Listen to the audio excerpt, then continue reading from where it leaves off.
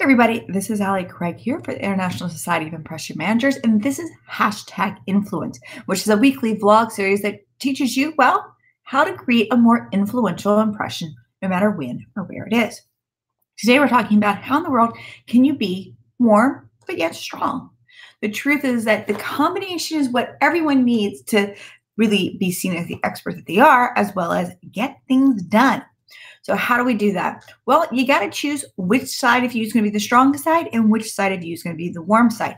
Here's what I mean.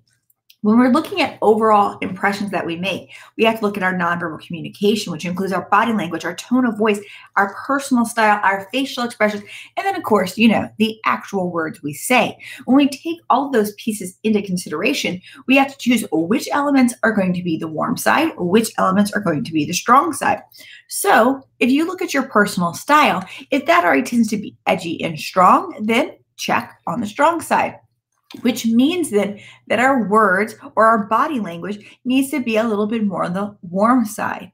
If you tend to be more sweet dressing, meaning that you do flowers, pastels, frilly, and feminine, then that means that then your body language needs to be strong. Strong body language basically means unmovable. Your tone needs to be maybe a little strong, or the choice of words needs to be not apologetic.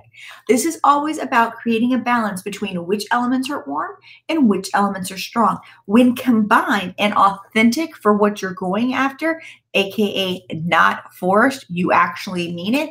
Guess what? You're going to come across organically as a true influencer with strength and warmth all at the same time.